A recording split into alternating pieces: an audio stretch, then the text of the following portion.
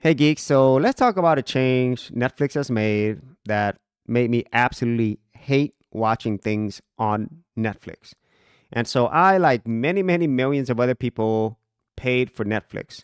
And for many years, I actually had their premium plan. And before, it was just called something else. But bottom line, I've spent thousands of dollars with Netflix. And then once they instituted their no password sharing I decided I didn't want to pay for Netflix anymore. However, my cell phone provider offers a plan where if you pay for your cell phone, depending upon which cell phone plan that you have, you actually get some streaming services like Netflix or Apple Plus or Hulu or Paramount for free. Okay, so that's what I did. I decided to get the standard plan and things were good. I was okay with getting the standard plan and still having access to Netflix without paying for it. However, my cell phone provider just made a recent change where now they bumped me down from standard to standard with ads. And let me tell you, the experience is absolutely horrible. Now, all of us are used to having ads, you know, when we're watching stuff online. Okay, so here's an ad right here before I even watch the movie, and it is non skippable. Um, and so in this case, uh, I'm not able to skip this ad and already I don't want to watch it. Okay, but if I try it again, um, let me see if it shows how many ad breaks. Okay, here's another ad. So I can't even like, yeah, I can't even like watch this yet. And so in some cases the ads are 30 seconds, some cases are over a minute. And depending upon the movie or show that you are watching, uh, they could have multiple ad breaks. So in this case, let me kind of show you how many ad breaks. There's one, two, three, four, five, six, seven, eight, nine, 10, 11, 12 ad breaks on this one movie. So you can imagine as you're watching a movie or show, there's ads most of the times before you watch it. There's 12 ad breaks in between. That is an absolutely horrifying experience, and it makes me not even want to watch anything on Netflix. And the thing is, this would be okay if you are on a platform that is free, like you're watching something on YouTube or you're watching some of these free streaming platforms. And my favorite is Tubi. Tubi, I actually spend more time watching stuff in here because they have a lot of movies and shows, most of which don't even exist on Netflix.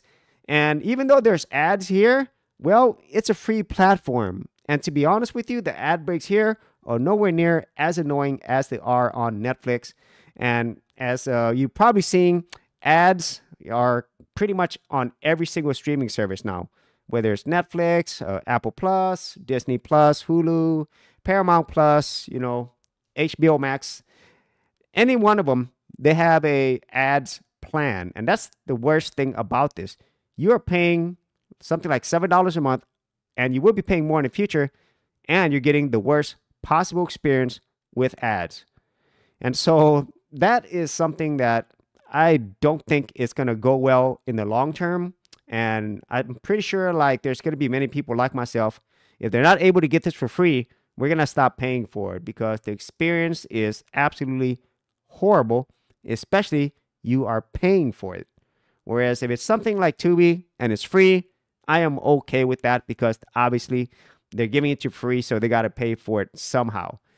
So that is my uh, huge rant on Netflix today. Um, if it wasn't for free, I would not use this service. And to be honest with you, most of their content nowadays, their original programming, most of it just isn't great. You know, there's only a few shows or movies that I actually do want to watch, and it's only available on Netflix. But for everything else, I'm either watching it on Tubi or I'm just watching stuff on YouTube.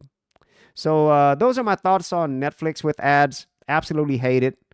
And uh, hopefully Netflix loses money from doing this. Uh, they probably won't, but I hope they do. And more people stop paying for this stuff. And hopefully uh, these streaming services will realize that they're losing customers and maybe they'll go back to something that makes more sense and uh, get rid of these ads. So if you actually had any thoughts on this, be sure to leave in the comments area below.